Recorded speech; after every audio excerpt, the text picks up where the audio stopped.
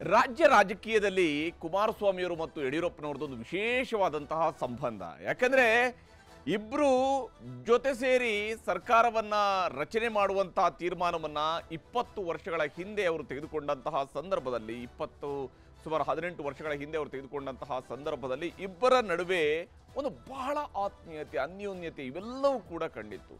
ಅದಾಗಿ ಇಪ್ಪತ್ತು ತಿಂಗಳ ನಂತರ ಇಬ್ಬರ ನಡುವೆ ಒಬ್ಬರನ್ನ ಕಂಡ್ರೆ ಇನ್ನೊಬ್ಬರಿಗೆ ಆಗೋದಿಲ್ಲ ಅನ್ನುವಂತಹ ಸ್ವರೂಪದಲ್ಲಿ. ಅದನ್ನು ನೀವು ಎಣ್ಣೆ ಸೀಗೆಕಾಯಿ ಅಂತ ಹೇಳ್ಬೋದು ಅಥವಾ ಬೇರಿನ್ಯಾವುದೇ ಪದಗಳ ಮೂಲಕವಾಗಿ ಇವುಗಳನ್ನು ಹೋಲಿಕೆ ಮಾಡ್ಕೊಳ್ಬೋದು. ಆ ಸ್ವರೂಪದಲ್ಲಿ ಇಬ್ಬರ ನಡುವೆ ವೈರತ್ವ ಇತ್ತು. ಅದು ಕೇವಲ ರಾಜಕೀಯ ವೈಷಮ್ಯ ಅಲ್ಲ ಅದು. ಅದು ರಾಜಕೀಯವಾದಂಥ ಎದುರಾಳಿಗಳ ನಡುವಿನ ಸಮರ ಆಗಿರಲಿಲ್ಲ ಅದು ವೈಯಕ್ತಿಕ ಮಟ್ಟದ ವೈರತ್ವದ ಸ್ವರೂಪದಲ್ಲೂ ಕೂಡ ಸಾಗ್ತಾ ಇತ್ತು. ಎರಡು ಸಾವಿರದ ಎಂಟರಿಂದ ಎರಡು ಸಾವಿರದ ಹದಿನೆಂಟರಲ್ಲಿ ಬಹುಶಃ ಯಾರ, ಎಲ್ರಿಗೂ ಕೂಡ ಗೊತ್ತಿದೆ ನೀವೆಲ್ಲರೂ ಕೂಡ ಗಮನಿಸಿರ್ಬೋದು, ಶಾಸನ ಸಭೆ ಒಳಗಡೆ ಅವತ್ತು ಯಡಿಯೂರಪ್ಪನವರು ಮೂರು ದಿವಸಗಳ ಮುಖ್ಯಮಂತ್ರಿ ಆಗಿ ರಾಜೀನಾಮೆಯನ್ನು ಕೊಟ್ಟು ಮತ್ತೆ ಅವರು ವಿರೋಧ ಪಕ್ಷದ ನಾಯಕರಾಗಿ ಹೆಗಲ ಮೇಲೆ ಹಸಿರು ಶಾಲು ಹಾಕ್ಕೊಂಡು ಕುಮಾರಸ್ವಾಮಿಯವರ ಬಗ್ಗೆ ಆಡಿರುವಂತಹ ಮಾತುಗಳನ್ನು ಬಹುಶಃ ಯಾರು ಮರೆಯೋದಕ್ಕೆ ಸಾಧ್ಯ ಇಲ್ಲ. ಆದರೆ ಈಗ, ಇವತ್ತು ಯಡಿಯೂರಪ್ಪನವರ ಮನೆಗೆ ಕುಮಾರಸ್ವಾಮಿಯವರು ತನ್ನ ಪುತ್ರನನ್ನು ಜೊತೆಯಾಗಿ ಕರ್ಕೊಂಡು ಹೋಗಿ ಯಡಿಯೂರಪ್ಪನವರ ಆಶೀರ್ವಾದದೊಂದಿಗೆ ಈಗ ಚನ್ನಪಟ್ಟಣದ ಚುನಾವಣೆಯಲ್ಲಿ ಅಭ್ಯರ್ಥಿಯನ್ನಾಗಿ ಮಾಡೋದಕ್ಕೆ ತೀರ್ಮಾನ ಕೈಗೊಂಡಿದ್ದಾರೆ. ಚನ್ನಪಟ್ಟಣವನ್ನು ಗೆಲ್ಲೋದಕ್ಕೆ ರಾಜಕೀಯ ವೈರತ್ವವನ್ನು ಮರೆತು ಈಗ ಈ ಜೋಡಿ ಒಂದಾಗಿದೆ. ನಿನ್ನೆ ಡಿ ಕೆ ಶಿವಕುಮಾರ್ ಮತ್ತು ಯೋಗೇಶ್ವರ್ ಒಂದಾಗಿದ್ರು. ಅವರಿಬ್ಬರ ನಡುವೆಯೂ ಕೂಡ ರಾಜಕೀಯ ಸಮರ ಇದ್ದೇ ಇತ್ತು. ಆದರೆ ಅದು ತೀರಾ ಯಡಿಯೂರಪ್ಪ ಕುಮಾರಸ್ವಾಮಿಯವರ ರೇಂಜಿಂದ ಅಲ್ಲ ಅದು. ಆದರೆ ಇಂದು ಕುಮಾರಸ್ವಾಮಿ ಮತ್ತು ಯಡಿಯೂರಪ್ಪ ಇಬ್ಬರು ಕೂಡ ಜೊತೆಯಾಗಿನೇ ಏನು ಅನೌನ್ಸ್ ಮಾಡಿದ್ದಾರೆ, ಅಭ್ಯರ್ಥಿಯನ್ನ ಘೋಷಣೆ ಮಾಡಿದ್ದಾರೆ. ಯಡಿಯೂರಪ್ಪ ಅವ್ರಿಗೆ ಹಾರ ಹಾಕೋದಿಕ್ಕೆ ನಿಖಿಲ್ ಮುಂದಾದಾಗ ಇರು ಇಲ್ಲ ಇಲ್ಲ, ನಿನಗೆ ಹಾರ ಹಾಕಬೇಕು ಅನ್ನುವಂತಹ ರೀತಿಯಲ್ಲಿ ಯಡಿಯೂರಪ್ಪನವರು ಅವ್ರಿಗೆ ಹೇಳಿದ್ದಾರೆ. ನನಗೆ ಹಾಕೋದಲ್ಲ, ಈಗ ನೀನು ಅಭ್ಯರ್ಥಿ, ನಿನಗೆ ಹಾಕಬೇಕಾಗಿದೆ ಅನ್ನುವಂತಹ ನಿಟ್ಟಲ್ಲಿ ಇಬ್ಬರನ್ನ ಜೊತೆ ಸೇರಿ ಒಂದೇ ಹಾರದಲ್ಲಿ ಇಬ್ಬರನ್ನ ಬಂದಿಯಾಗಿ ಮಾಡಲಾಗಿದೆ. ಈ ಮೂಲಕ ರಾಜಕೀಯದ ವೈಷಮ್ಯಗಳನ್ನೆಲ್ಲವನ್ನು ಕೂಡ ಮರೆತು, ಹೌದು, ಬಿಜೆಪಿ ಮತ್ತು ಜೆ ಡಿ ಎಸ್ ಎರಡೂ ಕೂಡ ಒಂದಾಗಿತ್ತು ಕಳೆದ ಲೋಕಸಭಾ ಚುನಾವಣೆಯಲ್ಲಿ. ಆರು ತಿಂಗಳ ಹಿಂದೆಯೇ ಇವರ ಒಂದು ಒಡನಾಟ ಶುರುವಾಗಿತ್ತು. ಆದರೆ ಅದೆಲ್ಲವೂ ಕೂಡ ದೇಶದ ಚುನಾವಣೆಯ ದೃಷ್ಟಿಯಿಂದ ತೆಗೆದುಕೊಂಡಂತಹ ತೀರ್ಮಾನಗಳಾಗಿದ್ದರೆ ಇದು ರಾಜ್ಯದ ಚುನಾವಣೆ, ವಿಧಾನಸಭೆ ಚುನಾವಣೆ. ಇದಕ್ಕೆ ವಿಶೇಷವಾದಂತಹ ಮಹತ್ವ ಇದೆ. ಯಡಿಯೂರಪ್ಪನವರ ನಿವಾಸದಲ್ಲಿ ಇವತ್ತು ಕುಮಾರಸ್ವಾಮಿಯವರು, ನಿಖಿಲ್ ಕುಮಾರಸ್ವಾಮಿಯವರು ಜೆ ಡಿ ಎಸ್ನ ಹಿರಿಯ ನಾಯಕರುಗಳು ಇವರೆಲ್ಲರೂ ಕೂಡ ಹೋಗಿ ಸಭೆಯಲ್ಲಿ ಕುಳಿತಿದ್ರು, ಜೊತೆಯಾಗಿ ಮಾತನಾಡಿದರು. ಅದಾದ ನಂತರ ತೀರ್ಮಾನಕ್ಕೆ ಬಂದಿದ್ದಾರೆ.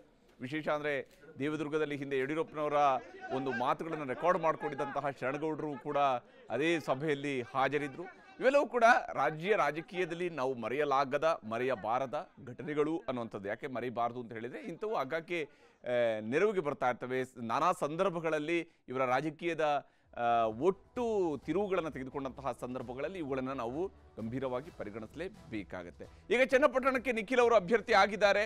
ಇದರ ಮೂಲಕವಾಗಿ ಅಖಾಡಕ್ಕೆ ಅಭಿಮನ್ಯು ಧುಮುಕಿದ್ದಾನೆ ಈಗ ಚನ್ನಪಟ್ಟಣದ ಮೈತ್ರಿ ಅಭ್ಯರ್ಥಿಯಾಗಿ ನಿಖಿಲ್ ಕುಮಾರಸ್ವಾಮಿ ಅವರು ಅಖಾಡಕ್ಕೆ ಇಳಿದಿರುವಂಥದ್ದು ಇದು ಕುಮಾರಸ್ವಾಮಿ, ಇಲ್ಲಿ ನಿಖಿಲ್ ಕುಮಾರಸ್ವಾಮಿ ಅವರ ಪಾಲಿಗೆ ಇದು ಮೂರನೇ ಚುನಾವಣೆ ಇದು. ಜೆಡಿಎಸ್ ಸಭೆಯಲ್ಲಿ ನಿರ್ಧಾರವನ್ನು ಕೈಗೊಳ್ಳಲಾಯಿತು. ಅದಾದ ನಂತರ ಯಡಿಯೂರಪ್ಪ ಅವರ ಜೊತೆಗೆ ಸಭೆ ನಡೆಸಿದ್ರು. ನಂತರ ಆ ಸಭೆಯಲ್ಲಿ ಘೋಷಣೆಯನ್ನ ಕೂಗಲಾಗಿದೆ. ಘೋಷಣೆಯನ್ನ ಮಾಡಲಾಗಿದೆ. ಏನು, ನಿಖಿಲ್ ಅವರನ್ನೇ ಅಭ್ಯರ್ಥಿ ಅನ್ನುವಂಥ ಘೋಷಣೆಯನ್ನ ಮಾಡಲಾಗಿದೆ. ಬಹಳ ಒಂದು ಬೋಲ್ಡ್ ಡಿಸಿಷನ್ ಅನ್ನ ಜೆ ಡಿ ಎಸ್ ಇಲ್ಲಿ ತೆಗೆದುಕೊಂಡಿದೆ. ಇದರಲ್ಲಿ ಯಾವುದೇ ಅನುಮಾನ ಬೇಕಿಲ್ಲ. ಯಾಕಂದ್ರೆ ಈ ಇಂಥದ್ದೊಂದು ನಿರ್ಧಾರವನ್ನ ಜೆ ಡಿ ಎಸ್ ತೆಗೆದುಕೊಳ್ಳದೆ ಹೋಗಿದ್ದಿರ್ತದೆ. ಜೆ ಡಿ ಎಸ್ ಈ ಸಮರದಿಂದ ಹಿಂದಕ್ಕೆ ಸರಿದಿದೆ ಅನ್ನುವಂಥ ಸಂದೇಶ ಹೋಗ್ತಾ ಇತ್ತು. ಆದರೆ ಜೆ ಡಿ ಎಸ್ ನಿಖರವಾಗಿ ತನ್ನ ನಿರ್ಧಾರವನ್ನು ಕೈಗೊಳ್ಳೋದ್ರ ಮೂಲಕವಾಗಿ ಮೂರನೇ ಬಾರಿಗೆ ಅದೃಷ್ಟ ಪರೀಕ್ಷೆಗೆ ನಿಖಿಲ್ ಕುಮಾರಸ್ವಾಮಿ ಅವರು ಇವತ್ತು ಇಳಿದಿದ್ದಾರೆ. ಈ ಮೂಲಕವಾಗಿ ಚನ್ನಪಟ್ಟಣದ ಜನರ ಮೂಲಕವಾಗಿ ಆಶೀರ್ವಾದವನ್ನು ಪಡ್ಕೊಂಡು ವಿಧಾನಸಭೆಗೆ ಬರ್ತಾರಾ ಅಂತ ನೋಡ್ಬೇಕಾದ್ರೆ ಅವರ ಅಪ್ಪನನ್ನ ಚನ್ನಪಟ್ಟಣದ ಜನ ಗೆಲ್ಲಿಸಿ ಕಳಿಸಿದ್ದಾರೆ. ಕುಮಾರಸ್ವಾಮಿ ಅವರನ್ನ ಎರಡು ಬಾರಿ ಗೆಲ್ಲಿಸಿ ವಿಧಾನಸಭೆಗೆ ಕಳಿಸಿದ್ದಾರೆ. ಆದರೆ ಕುಮ್, ನಿಖಿಲ್ ಅವರ ತಾಯಿ ಕೂಡ ಇದೇ ಕ್ಷೇತ್ರದಿಂದ ಚುನಾವಣೆಯಲ್ಲಿ ಅದೃಷ್ಟ ಪರೀಕ್ಷೆಯನ್ನು ಮಾಡಿದಾಗ ಜನ ಸೋಲಿಸಿದ್ದಾರೆ ಅನ್ನುವಂಥದ್ದು ಕೂಡ ನಾವು ಮರಿಬಾರ್ದು. ಹಾಗಾಗಿ ಚನ್ನಪಟ್ಟಣ, ದೇವೇಗೌಡರ ಕುಟುಂಬಕ್ಕೆ ಸಿಹಿ ಮತ್ತು ಕಹಿ ಎರಡನ್ನೂ ಕೂಡ ಕೊಟ್ಟಿರುವಂತಹ ಒಂದು ವಿಧಾನಸಭಾ ಕ್ಷೇತ್ರ. ಅತ್ಯಂತ ಪ್ರಮುಖವಾಗಿ ಮಂಡ್ಯ, ರಾಮನಗರ, ಸೋಲಿನ ಬಳಿಕ ಮತ್ತೊಮ್ಮೆ ಅದೃಷ್ಟ ಪರೀಕ್ಷೆಗೆ ನಿಖಿಲ್ ಕುಮಾರಸ್ವಾಮಿ ಹೇಳಿದ್ದಾರೆ ಅವರು ಹಿಂದೇಟು ಹಾಕಲಿಲ್ಲ. ಎರಡು ಬಾರಿ ಸೋತಿದ್ದೀನಿ ಅನ್ನೋಂಥ ಕಾರಣಕ್ಕಾಗಿ ಮನೆಯಲ್ಲಿ ಕೂತ್ಕೊಳ್ಬೇಕಾದ ಅವಶ್ಯಕತೆ ಇಲ್ಲ. ಯಾಕಂದರೆ ರಾಜಕಾರಣಿಗಳಿಗೆ ಪ್ರತಿ ಚುನಾವಣೆಯೂ ಕೂಡ ಹೊಸದ, ಹೊಸದಾದಂಥ ಚುನಾವಣೆ, ಪ್ರತಿ ಇಕ್ವೇಷನ್ ಕೂಡ ಹೊಸದಾದ ಇಕ್ವೇಷನ್ ಪ್ರತಿ ಬಾರಿಯೂ ಕೂಡ ಚುನಾವಣೆಯಲ್ಲಿ ತನ್ನ ಪ್ರಯತ್ನವನ್ನು ಮಾಡಲೇಬೇಕಾಗುತ್ತೆ. ಆ ಕೆಲಸವನ್ನು ಇಲ್ಲಿ ನಿಖಿಲ್ ಅವರು ಮಾಡಿದ್ದಾರೆ. ಕಾರ್ಯಕರ್ತರು ಮತ್ತು ನಾಯಕರ ಒತ್ತಡದ ಮೇರೆಗೆ ನಿಖಿಲ್ ಅವರು ಕಣಕ್ಕೆ ಇಳಿದಿದ್ದಾರಂತೆ. ಇದರ ಒತ್ತಡ ಅಂತ ಹೇಳ್ಬೋದು, ಅಥವಾ ಕುಟುಂಬದ ನಿರ್ಧಾರ ಅಂತ ಕೂಡ ಕರೀಬಹುದು. ಯಾವ ರೀತಿಯಾಗಿಯೂ ಕೂಡ ಇದನ್ನು ವಿಶ್ಲೇಷಣೆ ಮಾಡ್ಕೊಳ್ಬಹುದು ಇನ್ನು ಯೋಗೇಶ್ವರ್ ಡಿ ಕೆ ಬ್ರದರ್ಸ್ ಸೋಲಿಸೋದಕ್ಕೆ ನಿಖಿಲ್ ಸಮರ್ಥ ಅನ್ನುವಂಥ ಲೆಕ್ಕಾಚಾರ ಇದೆ. ಯಾಕಂದರೆ ಇಲ್ಲಿ ಹೋಲಿಕೆಯನ್ನು ನಾವು ಮಾಡಿದಾಗ ಜಯಮುತ್ತು ಅವ್ರನ್ನ ಟಿಕೆಟ್ ಕೊಟ್ಟು, ಇಲ್ಲ ಕಾರ್ಯಕರ್ತರಿಗೆ ಅವರೊಂದು ಟಿಕೆಟ್ ಕೊಟ್ಟಿದ್ದಾರೆ ಅಂತ ಹೇಳುವಂತಹ ಪರಿಸ್ಥಿತಿ ಈ ಉಪಚುನಾವಣೆ ಇರಲಿಲ್ಲ. ಇಲ್ಲಿ ನಿಖಿಲ್ ಒಬ್ಬ ಸಮರ್ಥ ಸರಿಯಾದಂಥ ಅಭ್ಯರ್ಥಿ ಜೆ ಡಿ ಎಸ್ನ ಪಾಲಿಗೂ ಕೂಡ. ಎರಡನೇ ಬಾರಿ ಸೋತಿದ್ದಾರೆ, ಎರಡು ಬಾರಿ ಸೋತಿದ್ದಾರೆ ಎಂಬ ಅನುಕಂಪದ ಮೇಲೂ ಕೂಡ ಮತ ಬರುತ್ತೆ ಅನ್ನುವ ಲೆಕ್ಕಾಚಾರವೂ ಕೂಡ ಇಲ್ಲಿ ಅಡಗಿದೆ. ಯಾಕಂದ್ರೆ ಒಕ್ಕಲಿಗ ಸಮುದಾಯದ ಒಂದು ಹಿಡಿತವನ್ನ ದೇವೇಗೌಡರ ಕುಟುಂಬ ಇವತ್ತು ಕೂಡ ಹೊಂದಿದೆ ಕುಮಾರಸ್ವಾಮಿ ಅವರು ಕೂಡ ಹಿಡಿತವರು ಹೊಂದಿದ್ದಾರೆ ಮತ್ತು ವಿಶೇಷವಾಗಿ ಅವರು ಇವತ್ತು ಕೇಂದ್ರ ಸಚಿವರು ಕೂಡ ಇದ್ದಾರೆ. ಹೇಗೆ ರಾಜ್ಯದಲ್ಲಿ ರಾಜ್ಯ ಸರ್ಕಾರ ಇದೆಯೋ ಹಾಗೆ ಕೇಂದ್ರ ಸರ್ಕಾರದ ಇನ್ಫ್ಲೂಯೆನ್ಸ್ ಅನ್ನ ಕೂಡ ಇಲ್ಲಿ ಕುಮಾರಸ್ವಾಮಿಯವರು ಮಾಡಬಹುದು. ಎರಡು ಬಾರಿ ಸೋತಿದ್ದಾರೆ ಅನ್ನುವಂಥ ಅನುಕಂಪದ ಮೇಲೆ ಮತ ಬರುತ್ತೆ ಅನ್ನುವಂತಹ ಲೆಕ್ಕಾಚಾರದೊಂದಿಗೆ ನಿಖಿಲ್ ಕುಮಾರಸ್ವಾಮಿ ಅವರನ್ನ ಕಣಕ್ಕಿಳಿಸುವಂತಹ ತೀರ್ಮಾನಕ್ಕೆ ಕುಮಾರಸ್ವಾಮಿ ಅವರು ಬಂದಿದ್ದಾರೆ. ಇದು ಅತ್ಯಂತ ಮಹತ್ವದ ನಿರ್ಧಾರವನ್ನ ಜೆ ಡಿ ಎಸ್ನ ಕಡೆಯಿಂದ ತೆಗೆದುಕೊಂಡಿರುವಂಥದ್ದು ಚನ್ನಪಟ್ಟಣದ ಎಲೆಕ್ಷನ್ನಲ್ಲಿ ಯುದ್ಧ ಘೋಷಣೆ ಆದ ಮೇಲೆ ಸಮರಾಂಗಣದಿಂದ ಹಿಂದಕ್ಕೆ ಸರಿಯೋದಕ್ಕೆ ಸಾಧ್ಯ ಇಲ್ಲ. ಅಭಿಮನ್ಯು ಪಾತ್ರವನ್ನು ಮಾಡಿರುವಂತಹ ನಿಖಿಲ್ ಅವರು ಅಖಾಡಕ್ಕೆ ಧುಮುಕಲೇಬೇಕಾದ ಅನಿವಾರ್ಯತೆ ಇದ್ದೇ ಇತ್ತು. ಆ ಅಖಾಡಕ್ಕೆ ಧುಮುಕಿದ್ದಾರೆ ನಿಖಿಲ್ ಕುಮಾರಸ್ವಾಮಿ. ನಿಖಿಲ್ ಕುಮಾರಸ್ವಾಮಿ ಅವರ ಹೆಸರನ್ನ ಘೋಷಣೆ ಮಾಡಿದ ನಂತರ ಯಡಿಯೂರಪ್ಪನವರು ಹಾಗೆಯೇ ಕುಮಾರಸ್ವಾಮಿ ಅವರು ಇಬ್ರು ಕೂಡ ಮಾತನಾಡಿದ್ದಾರೆ. ತೋರಿಸ್ತೀನಿ. ಎನ್ ಡಿ ಎ ಅಭ್ಯರ್ಥಿಯಾಗಿ ನಿಖಿಲ್ ಕುಮಾರಸ್ವಾಮಿ ಅವರನ್ನ ಇವತ್ತು ನಮ್ಮ ಅಭ್ಯರ್ಥಿ ಅಂತ ಘೋಷಣೆ ಮಾಡಿದ್ದೇವೆ. ಪ್ರಧಾನಿ ನರೇಂದ್ರ ಮೋದಿಜಿಯವರ ಆಶೀರ್ವಾದ ಇದೆ. ಮೋದಿಯವರ ಪಕ್ಷದಿಂದ ಬೆಂಬಲ ಇರೋದ್ರಿಂದ ಕುಮಾರಸ್ವಾಮಿ ಅವರು ಅಶೋಕ್ ಅವರು ಉಳಿದೆಲ್ಲ ನಮ್ಮ ಹಿರಿಯ ಮುಖಂಡರು ಇವತ್ತು ಒಟ್ಟಾಗಿ ಇಲ್ಲಿ ಸೇರಿದ್ದೇವೆ. ಇದು ಚುನಾವಣೆಗೆ ಸ್ಪರ್ಧೆ ಮಾಡೋ ಪ್ರಶ್ನೆ ಅಲ್ಲ. ನೂರಕ್ಕೆ ನೂರು ಚುನಾವಣೆಯಲ್ಲಿ ನಿಂತು ಗೆದ್ದು ಬಂದ ಮೇಲೆ ಮತ್ತೆ ನಿಮ್ಮನ್ನು ನಾವು ಭೇಟಿ ಮಾಡ್ತೇವೆ. ನಮಗೆ ನೂರಕ್ಕೆ ವಿಶ್ವಾಸ ಇದೆ ನೂರಕ್ಕೆ ನೂರು. ನಿಲಿಕ್ ನಿಖಿಲ್ ಕುಮಾರಸ್ವಾಮಿಯವರು ನೂರಕ್ಕೆ ನೂರು ಗೆಲ್ತಾರೆ ಅನ್ನೋ ಸಂಪೂರ್ಣ ವಿಶ್ವಾಸ ನನಗಿದೆ. ಆ ದಿಕ್ಕಿನಲ್ಲಿ BJP J D S N D A ನಾವೆಲ್ಲ ಪ್ರಮುಖರು ಒಟ್ಟಾಗಿ ಅಲ್ಲಿ ಪ್ರವಾಸ ಮಾಡೋರಿದ್ದೇವೆ ನಾನು ಬೇರೆಯವ್ರ ಬಗ್ಗೆ ಒಂದು ಶಬ್ದ ಮಾತನಾಡೋಕ್ಕೆ ಇಷ್ಟಪಡೋದಿಲ್ಲ. ಪಕ್ಷಾಂತರ ಮಾಡಿರುವಂಥವ್ರ ಬಗ್ಗೆನೂ ಮಾತನಾಡೋ ಅಗತ್ಯ ಇಲ್ಲ. ನಮ್ಮ ಅಭ್ಯರ್ಥಿಯ ಗೆಲುವು ಬಹಳ ಮುಖ್ಯ. ಅದಕ್ಕೇನು ಬೇಕು ಎಲ್ಲ ಪರಿಶ್ರಮವನ್ನು ನಾವು ಹಾಕ್ತೇವೆ ಇವತ್ತು ಅಂತಿಮವಾಗಿ ಸನ್ಮಾನ್ಯ ನಮ್ಮ ಹಿರಿಯ ನಾಯಕರು, ಮಾಜಿ ಮುಖ್ಯಮಂತ್ರಿಗಳಾಗಿರ್ತಕ್ಕಂಥ ಯಡಿಯೂರಪ್ಪನವರ ಆಶೀರ್ವಾದದೊಂದಿಗೆ ಅಶೋಕ್ ಅವರು, ನಾನು ಅಶ್ವಥ್ ನಾರಾಯಣ ಅವರು ಮತ್ತು ನಮ್ಮ ಪಕ್ಷದ ಎಲ್ಲ ನಮ್ಮ ಹಿರಿಯರು, ನಾವೆಲ್ಲ ಸೇರಿ ಅಂತಿಮವಾಗಿ ಇವತ್ತು ಬೆಳಗ್ಗೆ ಪಕ್ಷದ ಕಚೇರಿಯಲ್ಲಿ ಏನು ಸಭೆ ಇತ್ತು ಕಾರ್ಯಕರ್ತರುಗಳ ಒಂದು ಒತ್ತಡದ ಹಿನ್ನೆಲೆ ಮತ್ತು ಕೆಲವು ಎರಡು ಮೂರು ದಿನಗಳಿಂದ ನಡೆದಿರ್ತಕ್ಕಂಥ ಒಂದು ರಾಜಕೀಯ ಬೆಳವಣಿಗೆಗಳ ಹಿನ್ನೆಲೆಯಲ್ಲಿ ಅಂತಿಮವಾಗಿ ಎನ್ ಡಿ ಎ ಅಭ್ಯರ್ಥಿ ಅಥವಾ J D S, B J ಪಿಯ ಒಂದು ಮೈತ್ರಿಯ ಒಂದು ಶಕ್ತಿ ಇವತ್ತು. ಮತ್ತೆ ಈ ಒಂದು ಚುನಾವಣೆಯಲ್ಲಿ ನಾವೇನು ಜನತೆಯ ಆಶೀರ್ವಾದದೊಂದಿಗೆ ನರೇಂದ್ರ ಮೋದಿಯವರ ನಾಯಕತ್ವದಲ್ಲಿ ಕರ್ನಾಟಕದ ಜನತೆ ಜೊತೆಯಲ್ಲಿದ್ದಾರೆ ಅಂತಕ್ಕಂಥ ಒಂದು ಸಂದೇಶವೂ ಏನು ಹೋಗಬೇಕಾಗಿದೆ. ಒಟ್ಟಾರೆ ಇವತ್ತು ಎನ್ ಡಿ ಎ ಅಭ್ಯರ್ಥಿಯಾಗಿ ನಿಖಿಲ್ ಕುಮಾರಸ್ವಾಮಿ ಅವರನ್ನು ಇವತ್ತು ಅಂತಿಮವಾಗಿ ಎರಡೂ ಪಕ್ಷಗಳ ಮುಖಂಡರು ಕೂತು ನಾವು ಚರ್ಚೆ ಮಾಡಿ ಇವತ್ತು ಯಡಿಯೂರಪ್ಪನವರ ಸಮ್ಮುಖದಲ್ಲಿ ಇವತ್ತು ಘೋಷಣೆ ಮಾಡ್ತಾ ಎಸ್, ಹೀಗೆ ಯಡಿಯೂರಪ್ಪನವರ ಸಮ್ಮುಖದಲ್ಲಿ ಕುಮಾರಸ್ವಾಮಿ ಅವರ ನೇತೃತ್ವದಲ್ಲಿ ಚುನಾವಣೆಯನ್ನು ಎದುರಿಸುವಂತಹದಕ್ಕೆ ಬೇಕಾಗಿ ನಿಖಿಲ್ ಅವರನ್ನು ಅಭ್ಯರ್ಥಿಯಾಗಿ ಮಾಡಲಾಗಿದೆ. ನಿಖಿಲ್ ಅವರು ಅಭ್ಯರ್ಥಿ ಆಗಿದ್ದಾರೆ ಈ ಕಡೆ ಚನ್ನಪಟ್ಟಣಕ್ಕೆ ಹೋಗಿ ನೋಡಿದ್ರೆ ಡಿ ಕೆ ಶಿವಕುಮಾರ್ ಅವರು ಒಂದು ಚಕ್ರವ್ಯೂಹವನ್ನ ಆಲ್ರೆಡಿ ರಚಿಸಿದ್ದಾರೆ. ಚಕ್ರವ್ಯೂಹಕ್ಕೆ ಈಗ ಅಭಿಮನ್ಯುವಿನ ಎಂಟ್ರಿ ಆಗತ್ತೆ. ಮಹಾಭಾರತ ಚಕ್ರವ್ಯೂಹದಲ್ಲಿ ಅಭಿಮನ್ಯು ವೀರಾವೇಶದಿಂದ ಹೋರಾಡಿ ಏನೇ ಆಗಿರ್ಬೋದು ಅಂತಿಮ ಫಲಿತಾಂಶ ಆದರೆ ಇದು ಚುನಾವಣೆಯ ಚಕ್ರವ್ಯೂಹ ಇದು. ಈ ಚುನಾವಣೆಯ ಚಕ್ರವ್ಯೂಹದಲ್ಲಿ ಅಭಿಮನ್ಯು ಅದನ್ನ ಗೆದ್ದು ಬರುವ ಅವಕಾಶವೂ ಕೂಡ ಇದ್ದೇ ಇರುತ್ತೆ. ಯಾಕಂದ್ರೆ ಅಂಥದ್ದೊಂದು ವಿಶ್ವಾಸವನ್ನ ಜೆ ಡಿ ಕಾರ್ಯಕರ್ತರಿಗೆ ಆರಂಭದಲ್ಲಿ ಮೂಡಿಸಬೇಕಂತ ಕೆಲಸವನ್ನ ಇಲ್ಲಿ ನಿಖಿಲ್ ಅವರು ಮಾಡ್ತಾ ಇದ್ದಾರೆ. ಡಿ ಕೆ ಸಹೋದರರ ಚಕ್ರವ್ಯೂಹದೊಳಗಡೆ ಈಗ ಅಭಿಮನ್ಯುವಿನ ಎಂಟ್ರಿ ಆಗ್ತಾ ಇದೆ. ಯಾವ ಸ್ವರೂಪದಲ್ಲಿ ಈ ಚಕ್ರವ್ಯೂಹವನ್ನ ಅಭಿಮನ್ಯು ಭೇದಿಸ್ತಾರೆ ಅಂತೇಳಿ ನೋಡ್ಬೇಕಿದೆ. ಯಾಕಂದ್ರೆ ಅವರ ಜೊತೆಗೇನೆ ಆ ಕಡೆ ಈ ಕಡೆ ಯಡಿಯೂರಪ್ಪ ಮತ್ತು ಕುಮಾರಸ್ವಾಮಿಯವರು ಕೂಡ ಇದ್ದಾರೆ. ಹೀಗಾಗಿ ಯೋಗೇಶ್ವರ್ ಕಣಕ್ಕೆ ನಿಲ್ಲಿಸಿ ಪ್ರತಿಷ್ಠೆಯನ್ನಾಗಿಸಿಕೊಂಡಿದ್ದಾರೆ. ಈಗ D K brothers D K ಬ್ರದರ್ಸ್ಗೂ ಕೂಡ ಇದೊಂದು ಪ್ರತಿಷ್ಠೆಯ ಚುನಾವಣೆ. ಯೋಗೇಶ್ವರ್ಗೆ ಸರಿಯಾಗಿನೇ ಅಂದಾಜಿಸಿದ್ರು. ಯೋಗೇಶ್ವರ್ ಕೂಡ. ಇಲ್ಲಿ ಚುನಾವಣೆ ನಡೆದಾಗ ಖಂಡಿತವಾಗ್ಲೂ ನಿಖಿಲ್ ಕುಮಾರಸ್ವಾಮಿ ಅವರು ಇವರು ತರ್ತಾರೆ. ತಾನು ಪಕ್ಷೇತರನಾಗಿ ನಿಂತರೆ ಗೆಲ್ಲೋದು ಸುಲಭ ಇಲ್ಲ. ಅದಕ್ಕೆ ಕಾಂಗ್ರೆಸ್ ಬೇಕಿದೆ ಅನ್ನುವಂಥದ್ದು ಅವರ ಯೋಚನೆ ಇತ್ತು. ಹೀಗಾಗಿ ಡಿ ಕೆ ಬ್ರದರ್ಸ್ ವಿರುದ್ಧ ಗೆಲ್ಲಲೇಬೇಕು ಅನ್ನುವಂಥ ರೀತಿಯಲ್ಲಿ ಕುಮಾರಸ್ವಾಮಿಯವರ ಕೂಟವು ಕೂಡ ರಣತಂತ್ರವನ್ನು ರೂಪಿಸ್ತಾ ಇದೆ. ಕುಮಾರಸ್ವಾಮಿಯವರು ಈ ಒಂದು ಚನ್ನಪಟ್ಟಣ ಮತಕ್ಷೇತ್ರದಲ್ಲಿ ತನ್ನದೇ ಆದಂಥ ಹಿಡಿತವನ್ನು ಹೊಂದಿದ್ದಾರೆ. ಕಾರ್ಯಕರ್ತರ ಪಡೆ ಇದೆ. ಮತ್ತು ಒಂದು ಅತ್ಯುತ್ತಮವಾದಂತಹ ಸಂಘಟನೆಯ ಶಕ್ತಿ ಜೆ ಡಿ ಎಸ್ಗೆ ನಿಜಕ್ಕೂ ಕೂಡ ರಾಮನಗರ ಜಿಲ್ಲೆಯಲ್ಲಿ ಇದ್ದೇ ಇದೆ. ಅದು ವಿಶೇಷವಾಗಿ ಚನ್ನಪಟ್ಟಣದಲ್ಲೂ ಕೂಡ ಇದೆ. ಈ ನಿಟ್ಟಲ್ಲೂ ಕೂಡ ಬಹಳ ಮಹತ್ವವನ್ನು ಪಡ್ಕೊಂಡಿದೆ ನಿಖಿಲ್ ಅವರ ಸ್ಪರ್ಧೆ. ಡಿ ಕೆ ಬ್ರದರ್ಸ್ ವಿರುದ್ಧ ಗೆಲ್ಲಲೇಬೇಕು ಅನ್ನೋದು ಈಗ ಕುಮಾರಸ್ವಾಮಿ ಅವರ ರಣತಂತ್ರ ಆಗಿದೆ. ಮಗನನ್ನ ನಿಲ್ಲಿಸಿ ಗೆಲ್ಲಿಸುವ ಮೂಲಕ ಡಿ ಕೆ ಬ್ರದರ್ಸ್ಗೆ ಟಕ್ಕರ್ ಕೊಡೋದಕ್ಕೆ ನಿರ್ಧಾರವನ್ನ ಕೈಗೊಂಡಿದ್ದಾರೆ. ಇಲ್ಲಿ ಡಿ ಕೆ ಶಿವಕುಮಾರ್ ಅವರ ಹೆಣೆದಿರುವಂತಹ ಚಕ್ರವ್ಯೂಹ ಇದೆಯಲ್ಲ, ಇಡೀ ರಾಮನಗರ ಜಿಲ್ಲೆಯಲ್ಲಿ ಜೆ ಡಿ ಎಸ್ಗೆ ಒಬ್ಬರೇ ಒಬ್ಬ ಅಭ್ಯರ್ಥಿ ಇಲ್ಲ ಒಬ್ಬರೇ ಒಬ್ಬ ಶಾಸಕ ಇಲ್ಲ ಅನ್ನುವಂಥ ಸಂದೇಶ ರವಾನೆ ಮಾಡುವಂಥದ್ದು ಡಿ ಕೆ ಅವರ ಚಕ್ರವ್ಯೂಹ. ಆದರೆ ಇಲ್ಲ, ಅದನ್ನ ಭೇದಿಸಿ ತನ್ನ ಮಗನನ್ನೇ ವಿಧಾನಸಭೆಗೆ ಕಳಿಸೋದ್ರ ಮೂಲಕವಾಗಿ ಹಳೆ ಮೈಸೂರು ಭಾಗದ ಒಕ್ಕಲಿಗ ನಾಯಕನಾಗುವಂತಹ ನಿಟ್ಟಿನಲ್ಲೂ ಕೂಡ ಇದು ಪ್ರಶಸ್ತವಾದಂತಹ ವೇದಿಕೆ ಆಗುತ್ತೆ. ನಿಖಿಲ್ ಅವರ ಪಾಲಿಗೂ ಕೂಡ. ಯಾಕಂದ್ರೆ ಫ್ಯೂಚರ್ ಲೀಡರ್ ಅನ್ನುವಂಥದ್ದು ಇವತ್ತು ಜೆ ಡಿ ಎಸ್ನ ಅಗತ್ಯತೆ ಆಗಿದೆ.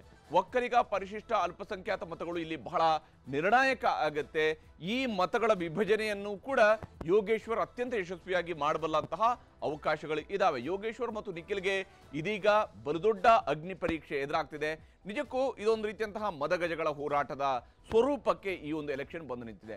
ಎರಡ್ ಸಾವಿರದ ಹನ್ನೊಂದರಲ್ಲಿ ಇದೇ ರೀತಿಯಾಗಿ ಬೈ ಎಲೆಕ್ಷನ್ ಬಂದಾಗ ಯೋಗೇಶ್ವರ್ ಮತ್ತು ಅನಿತಾ ಕುಮಾರಸ್ವಾಮಿ ಅವರ ನಡುವೆ ಹಣಾಹಣಿ ನಡೆದಿತ್ತು. ಎರಡ್ ಸಾವಿರದ ಹನ್ನೊಂದರಲ್ಲಿ ಆ ಎಲೆಕ್ಷನ್ ಅಲ್ಲಿ ಕೇವಲ ಮೂರು ಸಾವಿರ ಮತಗಳ ಅಂತರದಿಂದ ಅವತ್ತು ಬಿಜೆಪಿ ಅಭ್ಯರ್ಥಿಯಾಗಿದ್ದಂತಹ ಯೋಗೇಶ್ವರ್ ಅವರು ಗೆದ್ದು ವಿಧಾನಸಭೆಯನ್ನು ಪ್ರವೇಶ ಮಾಡ್ತಾರೆ. ಅನಿತಾ ಕುಮಾರಸ್ವಾಮಿ ಅವರು ಜೆ ಡಿ ಎಸ್ನಿಂದ ಸ್ಪರ್ಧಿಸಿ ಸೋಲ್ತಾರೆ. ಅವತ್ತು ಕಾಂಗ್ರೆಸ್ನಿಂದ ಅಖಾಡಕ್ಕಿಡಿದಂಥದ್ದು ರಘುನಂದನ್ ರಾಮಣ್ಣ. ಈಗ ಕಾಂಗ್ರೆಸ್ ಮತ್ತು ಜೆ ಡಿ ಎಸ್ ನಡುವೆ ನೇರ ಹಣಾಹಣಿ ಇದೆ. ಇಲ್ಲಿ ಬಿ ಜೆ ಪಿ ಇಲ್ಲ. ಇದು ನೇರವಾದಂತಹ ಫೈಟ್ ಆಗಿರೋದ್ರಿಂದಾಗಿ ಮತ ವಿಭಜನೆಯೂ ಕೂಡ ಬಹಳ ಮುಖ್ಯವಾದಂತಹ ಅಂಶಗಳಾಗಿರ್ತವೆ. ನಿಖಿಲ್ ಕುಮಾರಸ್ವಾಮಿ ಅವರು ಇವತ್ತು ಟಿಕೆಟ್ ಅನೌನ್ಸ್ ಆದ ನಂತರ ಮಾತನಾಡಿದ್ದಾರೆ. ತೋರಿಸ್ತೀನಿ. ಎಲ್ಲೋ ಒಂದು ಕಡೆ ಇವತ್ತು ಪಕ್ಷದ ಕಾರ್ಯಕರ್ತರುಗಳಲ್ಲಿ ಇವತ್ತು ಎಲ್ಲರೂ ಏನೋ ಒಂದು ರೀತಿ ಸಂಚ್ ರೂಪಿಸಿ ಇವತ್ತು ಈ ಚುನಾವಣೆಯನ್ನು ಮಾಡ್ತಾ ಇದ್ದಾರೆ. ಬಹುಶಃ ಸಾಕಷ್ಟು ಬಾರಿ ನೀವು ಹೇಳಿದ್ದೀರಿ. ಚಕ್ರವ್ಯೂಹ ಅಂತಕ್ಕಂಥದ್ದನ್ನ ಪದೇ ಪದೇ ಎರಡು ಚುನಾವಣೆಗಳಲ್ಲೂ ನೀವು ಚರ್ಚೆ ಮಾಡ್ಕೊಂಡ್ ಬಂದಿದ್ದೀರಿ ಬಹುಶಃ ಇದು ಒಂದು ಚಕ್ರವ್ಯೂಹ ರಚನೆ ಆಗಿದೆ. ಆದರೆ ಈ ಚಕ್ರವ್ಯೂಹವನ್ನು ಭೇದಿಸ್ತಕ್ಕಂಥ ಒಂದು ಶಕ್ತಿ ಎರಡು ಪಕ್ಷದ ಕಾರ್ಯಕರ್ತರು, ಎರಡು ಪಕ್ಷದ ಮುಖಂಡರು ನನಗೆ ಕೊಡ್ತಾರೆ. ಅದಕ್ಕಿಂತ ಹೆಚ್ಚಾಗಿ ಚನ್ನಪಟ್ಟಣ ತಾಲೂಕಿನ ಮಹಾಜನತೆ ಈ ಬಾರಿ ಒಬ್ಬ ಯುವಕನಿಗೆ ಅವರು ಸೇವೆ ಮಾಡ್ತಕ್ಕಂಥದ್ದಕ್ಕೆ ರಾಜ್ಯ ರಾಜಕಾರಣದಲ್ಲಿ, ಸಾರ್ವಜನಿಕ ಬದುಕಲ್ಲಿ ಒಂದು ಧ್ವನಿಯಾಗಿ ಒಬ್ಬ ಯುವಕ ಕೆಲಸ ಮಾಡ್ತಕ್ಕಂಥದ್ದಕ್ಕೆ ನನಗೆ ಅವಕಾಶ ಮಾಡ್ತಾರೆ ಅಂತಕ್ಕಂಥದ್ದು ನಂಬಿದ್ದೇನೆ.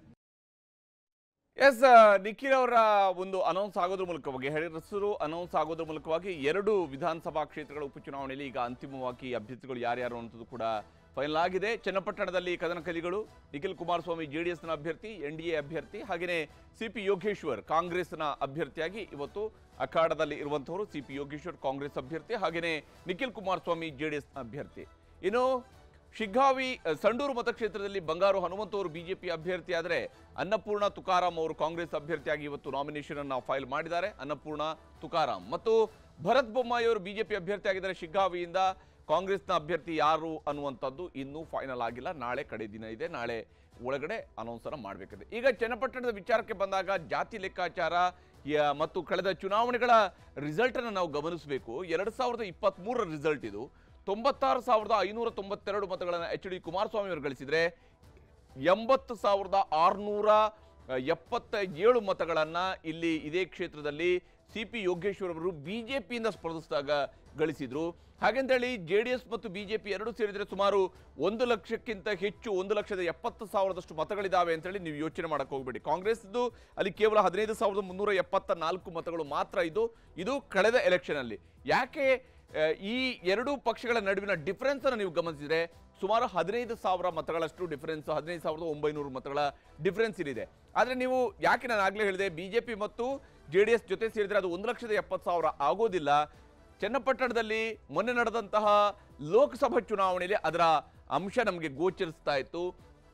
ನೋಡಿ, ತೊಂಬತ್ತಾರು ಸಾವಿರದಷ್ಟು ಮತಗಳನ್ನು ಅವತ್ತು ಜೆ ಡಿ ಎಸ್ನಿಂದ ಕುಮಾರಸ್ವಾಮಿ ಪಡೆದ ನಂತರವೂ ಕೂಡ ಮತ್ತು ಬಿಜೆಪಿ ಎಂಬತ್ತು ಸಾವಿರ ಮತಗಳನ್ನು ಪಡೆದ ನಂತರವೂ ಕೂಡ ಡಾಕ್ಟರ್ ಸಿ ಎನ್ ಮಂಜುನಾಥ್ ಅವರಿಗೆ ಬಂದಿರುವಂತಹ ಮತಗಳು ಕೇವಲ ಒಂದು ಲಕ್ಷದ ಆರು ಸಾವಿರದ ಒಂಬೈನೂರ ಎಪ್ಪತ್ತೆರಡು ಮತಗಳು. ಯಾಕೆ ಇದನ್ನು ಕೇವಲ ಅಂತ ಹೇಳ್ತೀನಿ ಅಂತ ಹೇಳಿದ್ರೆ ಅದು ಒಂದು ಲಕ್ಷದ ಎಪ್ಪತ್ತು ಸಾವಿರದಷ್ಟು ಮತಗಳಾಗಿ ಪರಿವರ್ತನೆ ಆಗಲಿಲ್ಲ. ಬದಲಿಗೆ ಒಂದು ಲಕ್ಷದ ಆರು ಸಾವಿರದ ಒಂಬೈನೂರ ಎಪ್ಪತ್ತ ಎರಡು ಮತಗಳನ್ನು ಗಳಿಸಿದ್ದಾರೆ ಅಫ್ಕೋರ್ಸ್ ಅವರು ಕಾಂಗ್ರೆಸ್ನ ಡಿ ಕೆ ಸುರೇಶ್ ಅವರಿಗಿಂತ ಅವರು ಮುನ್ನಡೆಯನ್ನು ಪಡೆದಿದ್ರು. ಡಿ ಕೆ ಸುರೇಶ್ ಅವರು ಎಂಬತ್ತೈದು ಸಾವಿರದ ಮುನ್ನೂರ ಐವತ್ತೇಳು ಮತಗಳನ್ನ ಎರಡು ಸಾವಿರದ ಇಪ್ಪತ್ನಾಲ್ಕರ ಲೋಕಸಭಾ ಚುನಾವಣೆಯಲ್ಲಿ ಪಡೆದಿದ್ರು. ಇಬ್ಬರ ನಡುವಿನ ಡಿಫರೆನ್ಸ್ ಸುಮಾರು ಇಪ್ಪತ್ತೊಂದು ಸಾವಿರದ ಆರುನೂರು ಮತಗಳಷ್ಟು ಡಿಫರೆನ್ಸ್ ಇಬ್ಬರ ನಡುವೆ ಇತ್ತು. ಇಪ್ಪತ್ತೊಂದು ಸಾವಿರದ ಆರುನೂರು ಮತಗಳಷ್ಟೇ ಇಲ್ಲಿ ಕಾಂಗ್ರೆಸ್ ಮತ್ತು ಬಿಜೆಪಿ ಎಸ್ನ ಕ್ಯಾಂಡಿಡೇಟ್ ನಡುವೆ ಇತ್ತು. ಇಲ್ಲಿ ಒಕ್ಕಲಿಗರು ಸುಮಾರು ಒಂದು ಲಕ್ಷದ ಹದಿನೈದು ಸಾವಿರದಷ್ಟು ಮತದಾರರಿದ್ದಾರೆ. ಒಕ್ಕಲಿಗರ ಪ್ರಾಬಲ್ಯ ಇರುವಂತಹ, ಒಂದು ಭದ್ರವಾಗಿರುವಂತಹ ಒಂದು ಕ್ಷೇತ್ರ ಇದು. ಒಕ್ಕಲಿಗ ಮತದಾರರೇ ಸುಮಾರು ಒಂದು ಲಕ್ಷದ ಹದಿನೈದು ಸಾವಿರದಷ್ಟು ಮತಗಳಿದ್ದಾವೆ ಅಷ್ಟು ಮತಗಳಿದ್ದಾಗಿಯೂ ಕೂಡ ಕುಮಾರಸ್ವಾಮಿ ಅವರು ಗಳಿಸಿರುವಂತಹ ಮತಗಳು ಸುಮಾರು ತೊಂಬತ್ತಾರು ಸಾವಿರ ಮತಗಳು. ಸಿ ಪಿ ಯೋಗೇಶ್ವರ್ ಸುಮಾರು ಎಂಬತ್ತು ಸಾವಿರ ಮತಗಳನ್ನು ಎರಡು ಸಾವಿರದ ಇಪ್ಪತ್ತ್ಮೂರು ವಿಧಾನಸಭಾ ಚುನಾವಣೆಯಲ್ಲಿ ಗಳಿಸಿದ್ರು ಅಂತ ಹೇಳಿದರೆ ಒಕ್ಕಲಿಗ ಮತಗಳಲ್ಲಿ ಸ್ಪ್ಲಿಟ್ ಆಗಿರೋದು ಸ್ಪಷ್ಟವಾಗಿ ಗೋಚರಿಸ್ತಾ ಇತ್ತು. ಎಸ್ ಸಿ ಎಸ್ ಟಿ ಮತಗಳು ಸುಮಾರು ನಲವತ್ತೈದು ಸಾವಿರದಷ್ಟು ಮತಗಳು ಎಸ್ ಸಿ ಎಸ್ ಟಿ ಸಮುದಾಯಗಳಿಗೆ ಸೇರಿರ್ತಕ್ಕಂತಹ ಮತಗಳು ಇಲ್ಲಿ ಇದ್ದಾವೆ. ಹಾಗೆಯೇ ಮುಸ್ಲಿಂ ಮತಗಳು ಸುಮಾರು ಮೂವತ್ತೈದು ಸಾವಿರದಿಂದ ನಲವತ್ತು ಸಾವಿರದ ಆಸುಪಾಸಿನಲ್ಲಿ ಮುಸ್ಲಿಂ ಮತಗಳಿದ್ದಾವೆ ಇವು ಬಹಳ ನಿರ್ಣಾಯಕ ಆಗುತ್ತೆ ಈ ಬಾರಿಯ ವಿಧಾನಸಭಾ ಚುನಾವಣೆಯಲ್ಲಿ ಅನ್ನೋದರಲ್ಲಿ ಯಾವುದೇ ಅನುಮಾನ ಬೇಕಿಲ್ಲ. ಲಿಂಗಾಯತ ಮತಗಳು ಸುಮಾರು ಹನ್ನೊಂದು ಸಾವಿರದಷ್ಟು ಮತಗಳು ಲಿಂಗಾಯತರ ಮತದ ಮತಗಳು ಕೂಡ ಈ ಒಂದು ವಿಧಾನಸಭಾ ಕ್ಷೇತ್ರದ ವ್ಯಾಪ್ತಿಯಲ್ಲಿರುವಂಥದ್ದು. ಇನ್ನು ಕುರುಬ ಮತಗಳು ಸುಮಾರು ಎಂಟು ಸಾವಿರದಷ್ಟಿದ್ದಾವೆ ಎಂಟು ಸಾವಿರದಷ್ಟು ಕುರುಬ ಮತದಾರರಿದ್ದಾರೆ. ಇತರೆ ಮತ ಮತದಾರರು, ಇತರೆ ಸಮುದಾಯಗಳವರದ್ದು ಸುಮಾರು ಮೂವತ್ತೊಂದು ಸಾವಿರದಷ್ಟು ಮತಗಳು ಚನ್ನಪಟ್ಟಣ ಅಸೆಂಬ್ಲಿ ಸೆಗ್ಮೆಂಟ್ನಲ್ಲಿ ಇರುವಂಥದ್ದು. ಹೀಗಾಗಿ ಚನ್ನಪಟ್ಟಣದಲ್ಲಿ ಅತ್ಯಂತ ಜಿದ್ದಾಜಿದ್ದಿನ ಸಮರ ಇದ್ದೇ ಇದೆ. ಈ ಬಾರಿಯ ಚುನಾವಣೆಯಲ್ಲಿ ಇದನ್ನು ಗೆಲ್ಲಬೇಕು ಅಂತ ಹೇಳಿ ಆದರೆ ಒಂದು ದೊಡ್ಡ ರಣತಂತ್ರವನ್ನು ಎರಡೂ ಕಡೆಯವರು ರೂಪಿಸ್ತಾ ಇದ್ದಾರೆ. ಅದಕ್ಕೆ ನಾನು ಹೇಳಿದ್ದು, ಎರಡು ಸಾವಿರದ ಹನ್ನೊಂದರಲ್ಲಿ ಯಾವ ಸ್ವರೂಪದಲ್ಲಿ ನಿಖಿಲ್ ಅವರ ತಾಯಿ, ಅಂದರೆ ಅನಿತಾ ಕುಮಾರಸ್ವಾಮಿ ವರ್ಸಸ್ ಯೋಗೇಶ್ವರ್ ಒಂದು ಫೈಟ್ ನಡೆದಾಗ ಹೇಗೆ ನೇರ ಹಣಾಹಣಿ ಆಗಿತ್ತು, ಬಹುತೇಕ ಅದೇ ಸ್ವರೂಪದ ಹಣಾಹಣಿಯನ್ನು ನಾವು ಈ ಬಾರಿ ನಿರೀಕ್ಷೆ ಮಾಡ್ಬೋದು. ಆದರೆ ಇಲ್ಲಿ ಮೂರನೇ ಶಕ್ತಿ ಇಲ್ಲ. ಎರಡೇ ನೇರ ನೇರ ಹಣಾಹಣಿ ಆಗಿರೋದ್ರಿಂದಾಗಿ ಅಡ್ವಾಂಟೇಜ್ ಯಾರಿಗೆ ಸಿಗುತ್ತೆ ಅನ್ನೋದನ್ನು ನೋಡಬೇಕಾಗಿದೆ. ನಿಖಿಲ್ ಅವ್ರನ್ನ ಈ ಬಗ್ಗೆ ನಮ್ಮ ಪ್ರತಿನಿಧಿ ಮಾತನಾಡಿಸಿದಾಗ ನಿಖಿಲ್ ಅವ್ರು ಏನು ಹೇಳಿದ್ದಾರೆ ಅನ್ನೋದು ನಿಮಗೆ ತೋರಿಸ್ತೀನಿ. ಇದಕ್ಕೆ ನಮ್ಮ ಜೊತೆ ಮಾತಾಡೋಕೆ ನಿಖಿಲ್ ಕುಮಾರಸ್ವಾಮಿ ಇದ್ದಾರೆ ಮಾತಾಡಿದೀನಿ ಸರ್. ಈ ಒಂದು ಸ್ಪರ್ಧೆ ಅನಿವಾರ್ಯ ಆಗಿತ್ತು ಸತ್ಯ ಈಗ ಅನಿವಾರ್ಯ ಒಟ್ಟಾರೆಯಾಗಿ ಎನ್ ಡಿ ಎ ಅಭ್ಯರ್ಥಿಯಾಗಿ ಇವತ್ತು ರಾಜ್ಯದ ಮಾಜಿ ಮುಖ್ಯಮಂತ್ರಿಗಳು ಯಡಿಯೂರಪ್ಪಜಿಯವರು ಘೋಷಣೆ ಮಾಡಿದ್ದಾರೆ. ನನಗೆ ಇದು ಅತ್ಯಂತ ಅನಿರೀಕ್ಷಿತವಾದಂಥ ರಾಜಕಾರಣದ ಬೆಳವಣಿಗೆ ನನಗೆ ವೈಯಕ್ತಿಕವಾಗಿ. ಏಕೆಂದರೆ ನಾನು ಎಂದೂ ಕೂಡ ನಾನು ಚುನಾವಣೆಯಲ್ಲಿ ಆಕಾಂಕ್ಷಿತ ನಾನು ನಿಲ್ಲಬೇಕು ಅಂತಕ್ಕಂಥದ್ದನ್ನ ಎಂದೂ ಕೂಡ ನಾನು ಸಾರ್ವಜನಿಕವಾಗೂ ಹೇಳಿಲ್ಲ ನಮ್ಮ ಕಾರ್ಯಕರ್ತರ ನಡುವೆನೂ ಪ್ರಸ್ತಾವನೆ ಮಾಡಿಲ್ಲ. ಆದರೆ ನಾನು ಪಕ್ಷದ ಕಾರ್ಯಕರ್ತನಾಗಿ ಕಳೆದ ಎರಡು ತಿಂಗಳುಗಳಿಂದ ಏನು ಕ್ಷೇತ್ರ ತೆರವಾಯಿತು. ಅಂದಿನಿಂದ ನಮ್ಮ ಪಕ್ಷದ ಒಂದು ಸಂಘಟನೆಗೋಸ್ಕರ ನಾನು ಹಲವಾರು ಪಂಚಾಯಿತಿ ಹೆಡ್ ಕ್ವಾರ್ಟರ್ಸ್ಗಳಿಗೆ ಭೇಟಿ ಕೊಟ್ಟಿದ್ದೇನೆ. ನನ್ನ ಕೆಲಸ ಕಾರ್ಯಕರ್ತನಾಗಿ ನಾನು ಮಾಡಿದೆ. ಅಂತಿಮವಾಗಿ ಕಳೆದ ಒಂದು ವಾರ ಹತ್ತು ದಿನದಿಂದ ಆಗಿರ್ತಕ್ಕಂಥ ಬೆಳವಣಿಗೆ ನಿಮಗೆ ಗೊತ್ತಿದೆ. ಈಗ ಮೂರನೇ ಬಾರಿ ಧುಮುಕಿದ್ದೀರಾ? ಏನು ಕಾನ್ಫಿಡೆನ್ಸ್ ಸರ್? ಒಬ್ಬ ಯುವಕನಿಗೆ ಎರಡು ಬಾರಿನೂ ಕೂಡ ರಾಜಕೀಯದ ಷಡ್ಯಂತ್ರಕ್ಕೆ ನಾನು ಬಲಿಯನ್ನಾಗಿರ್ತಕ್ಕಂಥದ್ದು ಇವತ್ತು ಒಂದು ಇತಿಹಾಸ. ಒಬ್ಬ ಯುವಕನಿಗೆ, ಯುವಕರ ಪರವಾಗಿ, ರಾಜ್ಯದ ರೈತರ ಪರವಾಗಿ, ಏಳುವರೆ ಕೋಟಿ ಕನ್ನಡಿಗರ ಪರವಾಗಿ ಧ್ವನಿಯಾಗಿ ಕೆಲಸ ಮಾಡ್ತಕ್ಕಂಥ ಅವಕಾಶ ನಮ್ಮ ಚನ್ನಪಟ್ಟಣ ತಾಲೂಕಿನ ಜನತೆ ನಂಗೆ ಮಾಡಿಕೊಡ್ತಾರೆ ನಂಬಿದ್ದೀನಿ ಇದಿಷ್ಟು ನಿಖಿಲ್ ಕುಮಾರಸ್ವಾಮಿ ಅವರ ನೇರ ನುಡಿಗಳು. ಕ್ಯಾಮರಾಮನ್ ಯೋಗೇಶ್ವರ್ ಜೊತೆ Hebbaka Thimmegowda, news eighteen Kannada, Bengaluru. So ಇದೀಗ ನಮ್ಮ ಜೊತೆ ಮಾತಾಡೋಕೆ ಮಾಜಿ ಮುಖ್ಯಮಂತ್ರಿ ಕುಮಾರಸ್ವಾಮಿ ಇದ್ದಾರೆ. ಮಾತಾಡಿಸಿ. ಸರ್, ನಿಖಿಲ್ ಕುಮಾರಸ್ವಾಮಿ ಸ್ಪರ್ಧೆ ಅನಿವಾರ್ಯ ಇತ್ತ, ಸರ್? ಅನಿವಾರ್ಯ ತಂದಿದ್ದಾರೆ. ಅನಿವಾರ್ಯ ಏನಿರಲಿಲ್ಲ, ಅನಿವಾರ್ಯವನ್ನ ಕಾಂಗ್ರೆಸ್ ಮತ್ತು ಕಾಂಗ್ರೆಸ್ ಸೇರಿರ್ತಕ್ಕಂಥ ವ್ಯಕ್ತಿ ಇಬ್ಬರು ತಂದಿದ್ದಾರೆ. ಅದರಿಂದ ಇವತ್ತು ಎನ್ ಡಿ ಅಂತಿಮವಾಗಿ ಚುನಾವಣೆಯಲ್ಲಿ ನರೇಂದ್ರ ಮೋದಿ ಅವರ ನಾಯಕತ್ವದಲ್ಲಿ ಎನ್ ಡಿ ಎ ಅಭ್ಯರ್ಥಿ ಗೆಲ್ಲಬೇಕು ಅಂತಕ್ಕಂಥ ದೃಷ್ಟಿಯಿಂದ ಎರಡೂ ಪಕ್ಷಗಳ ಮುಖಂಡರು ಅಂತಿಮವಾದ ಒಂದು ನಿರ್ಣಯ ನಿಖಿಲ್ ಕುಮಾರಸ್ವಾಮಿ ನಿಲ್ಲಿಸಲಿಕ್ಕೆ ತೀರ್ಮಾನ ಮಾಡಿದ್ದಾರೆ ಒಂದು ಕಡೆಯಾಗಿ ಇಡೀ ಕಾಂಗ್ರೆಸ್ ಸರ್ಕಾರ ಮತ್ತೊಂದು ಕಡೆಯಾಗಿ ಡಿ ಕೆ ಬ್ರದರ್ಸ್ ಮತ್ತೊಂದ್ ಕಡೆಯಾಗಿ ಸಿ ಪಿ ಯೋಗೇಶ್ವರ್ ಇಷ್ಟು ಜನ ಒಬ್ಬ ಕುಮಾರಸ್ವಾಮಿ ವಿರುದ್ಧ ಸೆಣಸಾಡೋದು ಸೆಣಸಾಡೋದಕ್ಕೆ ಮುಂದಾದ್ರ ಅಂತ? ಇದರಲ್ಲಿ ಸಂಶಯವೇ ಇಲ್ಲ. ಒಬ್ಬ ಕುಮಾರಸ್ವಾಮಿಯನ್ನ ರಾಜಕೀಯವಾಗಿ ಮುಗಿಸಬೇಕು ಅಂತ ಹೇಳಿ ಇವತ್ತು ಈ ಒಂದು ಕಾಂಗ್ರೆಸ್ನ ನಾಯಕರುಗಳು ಏನು ಹೊರಟಿದ್ದಾರೆ ಅಂತಿಮವಾಗಿ ತೀರ್ಮಾನ ಜನತೆ ತೆಗೆದುಕೋತಾರೆ. ಜನತೆಯ ತೀರ್ಮಾನಕ್ಕೆ ಬಿಡ್ತೀನಿ. ಒಂದ್ ಕಡೆ ಮಂಡ್ಯ ಮತ್ತೆ ರಾಮನಗರದಲ್ಲಿ ಹಿನ್ನಡೆ ಆಗಿತ್ತು. ಮೂರನೇ ಬಾರಿ ನಿಖಿಲ್ ಕುಮಾರಸ್ವಾಮಿ ಅವ್ರನ್ನ ಆ ಕಡೆ ಧುಮುಕಿಸ್ತಾ ಇದ್ದೀರಾ? ಯಾವ ಕಾನ್ಫಿಡೆನ್ಸ್ ಸರ್ ಈ ಬಾರಿ ಗೆಲುವು? ಅದ್ರ ಮೇಲೆ ಸೋಲು ಗೆಲುವು ಸಹಜ. ಅದರಿಂದ ಚನ್ನಪಟ್ಟಣದ ಜನತೆ ತೀರ್ಮಾನ ಮಾಡ್ತಾರೆ ಈ ಬಾರಿ. ನನಗೆ ನಂಬಿಕೆ ಇದೆ ಚನ್ನಪಟ್ಟಣದ ಜನತೆ ಎರಡು ಚುನಾವಣೆಗಳು ನಿಖಿಲ್ ಕುಮಾರಸ್ವಾಮಿ ಅವರಿಗೇನು ಹಿನ್ನಡೆ ಆಗಿತ್ತು. ಚನ್ನಪಟ್ಟಣದ ತಂದೆ ತಾಯಿಂದರು ಯುವಕರು ಈ ಬಾರಿ ಅದಕ್ಕೆ ಉತ್ತರವನ್ನ ಅವರೇ ಕೊಡ್ತಾರೆ. ನಿಖಿಲ್ ಕುಮಾರಸ್ವಾಮಿ ಅವ್ರಿಗೆ ಆಶೀರ್ವಾದ ಮಾಡಿದ್ರ ಮುಖಾಂತರ. ಸೊ ಇದಿಷ್ಟು ಮಾಜಿ ಮುಖ್ಯಮಂತ್ರಿ ಹಾಗೂ ಕೇಂದ್ರ ಸಚಿವ ಎಚ್ ಡಿ ಕುಮಾರಸ್ವಾಮಿ ಅವರ ನೇರ ನುಡಿಗಳು. ಕ್ಯಾಮರಾಮನ್ ಯೋಗೇಶ್ವರ್ ಜೊತೆ ಹೆಬ್ಬಾಕ ತಿಮ್ಮೇಗೌಡ ನ್ಯೂಸ್ ಏಟಿಂಗ್ ಕನ್ನಡ ಬೆಂಗಳೂರು. ಇದು ಕುಮಾರಸ್ವಾಮಿ ಅವರ ಕ್ಯಾಂಪ್ನಲ್ಲಿ ನಡೀತಿದ್ದಂತಹ ಬೆಳವಣಿಗೆ. ಆದರೆ ಮತ್ತೊಂದು ಕಡೆಯಲ್ಲಿ ಕಾಂಗ್ರೆಸ್ನ ಪಾಳಯದಲ್ಲಿ ಏನೇನು ನಡೆದಿದೆ ಅನ್ನೋದನ್ನು ನಿಮಗೆ ಎರಡನೇ ಸ್ಟುಡಿಯೋಲಿ ತೋರಿಸ್ತೀನಿ. ಸಿ ಪಿ ವೈ ನಾಮಿನೇಷನ್ನಲ್ಲಿ ಕೈ ಬಲ ಪ್ರದರ್ಶನ. ಕುಮಾರಸ್ವಾಮಿನೇ ಬಂದರೂ ಸೋಲ್ತಾರೆ. ಕೈ ನಾಯಕರ ವಿಶ್ವಾಸಕ್ಕೆ ಏನು ಕಾರಣ? ಗ್ಯಾರಂಟಿಗಳು ಕೈ ಹಿಡಿಯುತ್ತವ? ಇದುವೇ ಚದುರಂಗದ ಎರಡನೇ ಸ್ಟೋರಿ, ಸೈನಿಕ ವ್ಯೂಹ.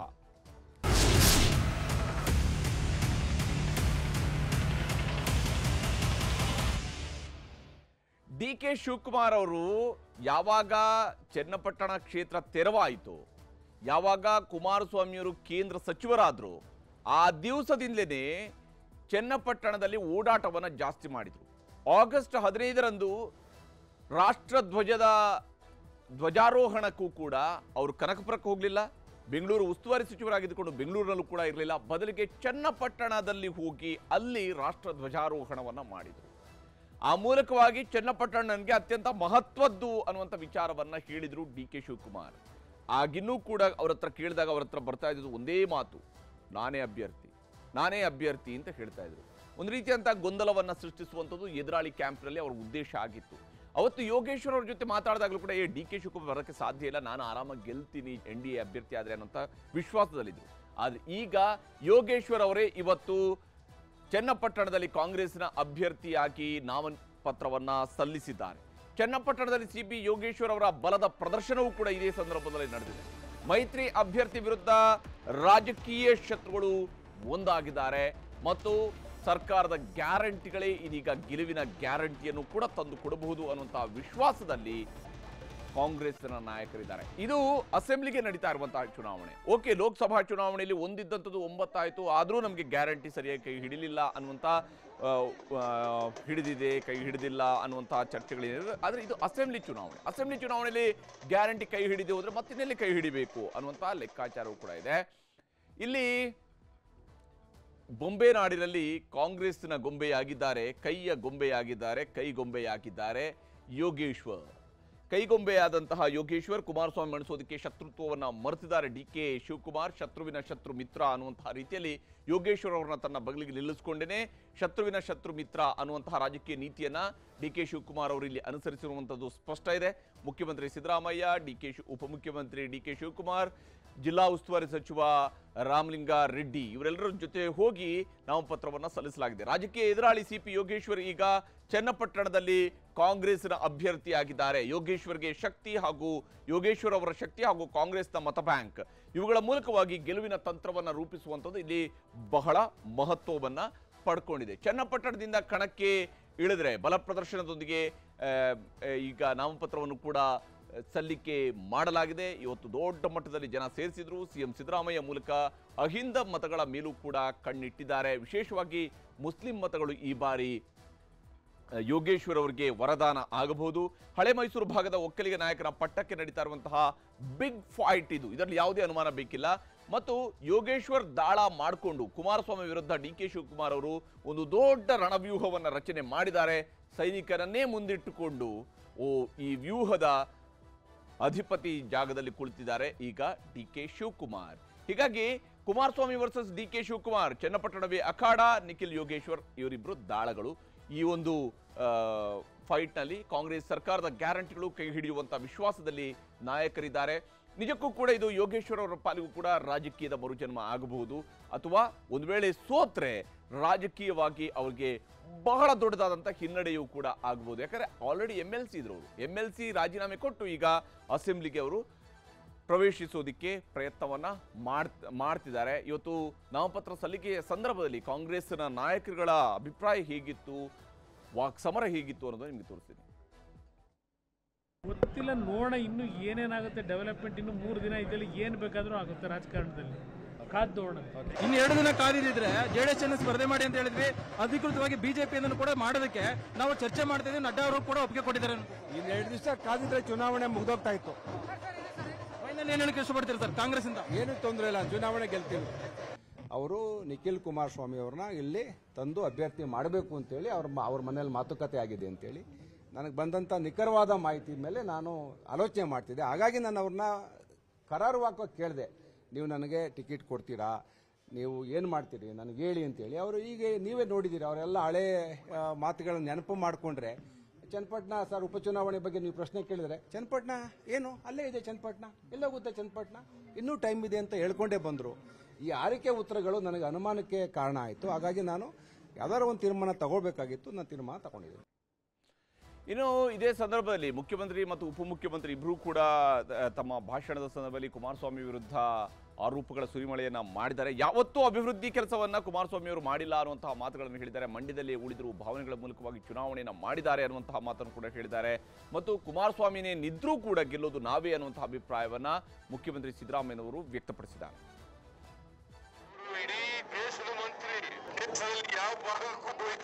ಮಂಡ್ಯ ಮಾತ್ರ ಹಿಡ್ಕೊಂಡಿದ್ದಾರೆ. ಅದರಿಂದ ದೇವೇಗೌಡರ ಕುಟುಂಬದ ಯಾವತ್ತೂ ಅಭಿವೃದ್ಧಿ ಕೆಲಸ ಮಾಡಿಲ್ಲ. ಭಾವನಾತ್ಮಕವಾದ ವಿಚಾರಗಳನ್ನ ಪ್ರಸ್ತಾಪ ಮಾಡಿ. ತಾವೇ ಮೂರು ಕಡೆ ಚುನಾವಣೆಯಲ್ಲಿ ಈ ಮಾಡಲಿಲ್ಲ ಯಾರನ್ನೇ ಹಾಕಿ. ಕುಮಾರಸ್ವಾಮಿನೇ ನಿಂತ್ಕೊಳ್ಳಿ. ಕುಮಾರಸ್ವಾಮಿ ಮಗ ನಿಂತ್ಕೊಳ್ಳಿ. ಕುಮಾರಸ್ವಾಮಿಯವರ ಧರ್ಮಪತ್ನಿ ನಿಂತ್ಕೊಳ್ಳಿ. ಯಾರು ನಿಂತ್ಕೊಂಡ್ರೂ ಕೂಡ ನಮ್ಮ ಅಭ್ಯರ್ಥಿ ಯೋಗೇಶ್ವರವರು